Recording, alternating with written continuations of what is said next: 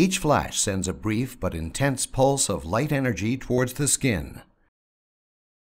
Lighter pigmented skin isn't affected, but when the light energy meets the darker pigment of hair, it's immediately transformed into brief but extreme heat.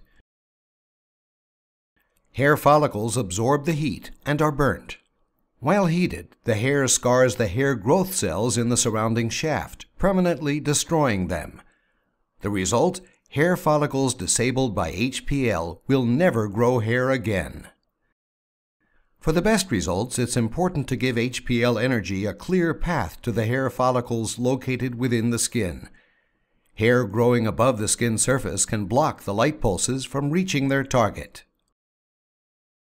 That's why you should shave before each flash and go treatment for maximum effectiveness.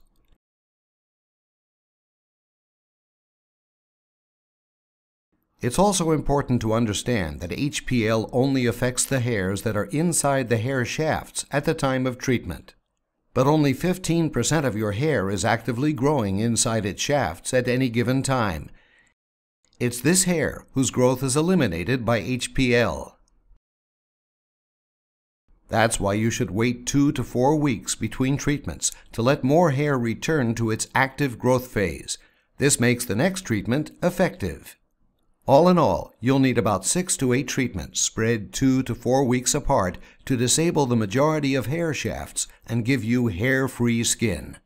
But remember, there are always dormant hair cells located beneath the skin surface that have never grown before, yet retain the potential to grow hair.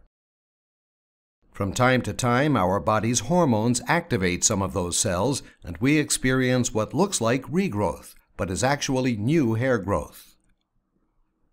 That's why you should always keep your unit handy so you'll be ready to eliminate any spontaneous hair growth that occurs in the future.